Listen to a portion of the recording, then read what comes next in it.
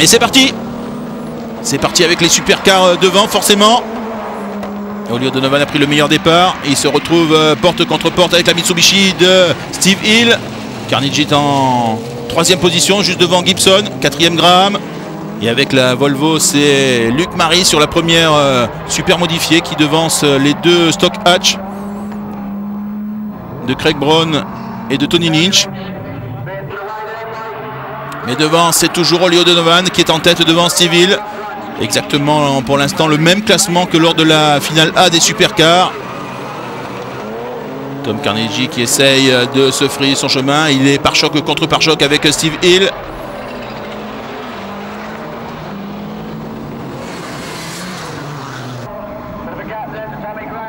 Grand soleil pour finir euh, ce lundi de Pâques euh, sur le circuit de Lydon Hill.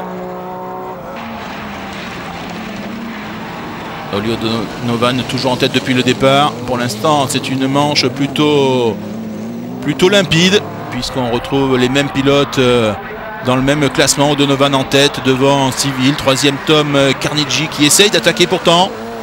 Et quatrième en embuscade. Oh là, il sort très très large Tom Carnegie.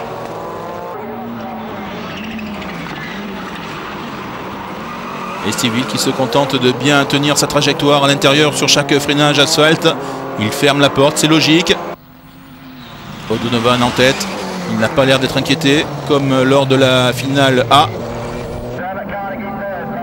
O'Donovan euh, commencerait plutôt bien la saison. S'il parvenait à s'imposer ici à Liden Hill. Luc Maris il a remporté tout à l'heure la catégorie super modifiée. Voilà pourquoi il est qualifié dans la super finale. Mais il ne réalisera pas le même exploit que Dave Bellerby l'an dernier ici même. Dave Bellerby avec sa Lotus Exige avait réussi à s'imposer euh, face à toutes les supercars des 4 roues motrices. Un exploit qui n'a bien entendu plus jamais été réédité.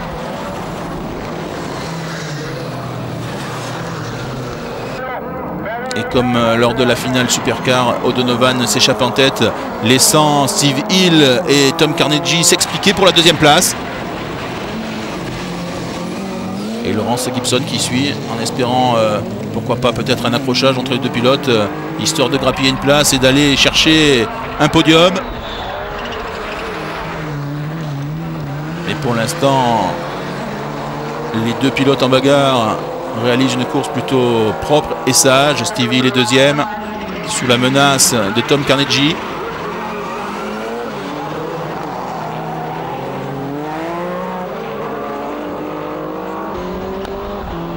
Et Olio Donovan qui s'approche de la fin de cette super finale qu'il va remporter dans quelques secondes très certainement.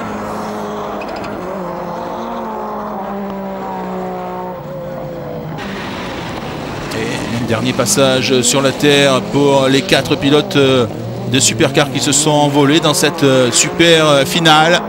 Olio Donovan, le champion titre irlandais. Voilà, c'est terminé. Drapeau à damier. Pas de changement donc dans le dernier tour. Victoire d'O'Donovan pardon, devant Steve Hill sur la Mitsubishi. Troisième Tom Carnegie. Quatrième Laurence Gibson. Belle euh, cinquième place pour Tommy Graham, juste devant Luc Maris, premier en super modifié, logique. Septième place, c'est Craig Brown, l'écossais, sur une Peugeot 205. Un pilote qui ne termine pas, malheureusement, on l'a pas vu tout à l'heure à l'écran, mais c'est Tony Lynch qui n'est pas classé.